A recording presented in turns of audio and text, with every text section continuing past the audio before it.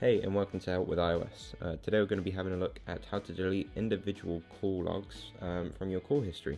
So we're going to tap into the phone, tap under recents if you're not there already, and uh, you can see I've got a load of um, kind of recent people that I've called over the past week.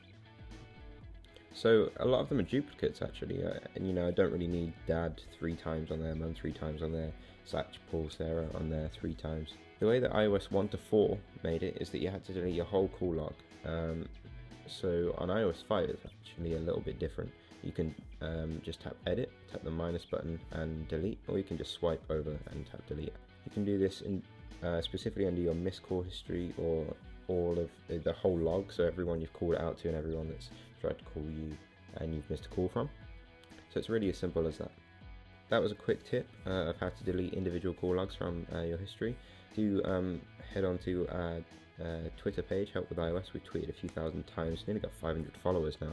And of course, don't forget our website as well, which my thumb is next to.